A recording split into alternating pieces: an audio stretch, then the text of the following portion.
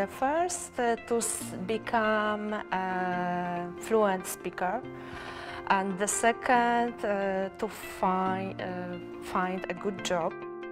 like accomplish or get a degree after um, maybe two or three years. uh, know about their cultures. I also want to contribute to the community.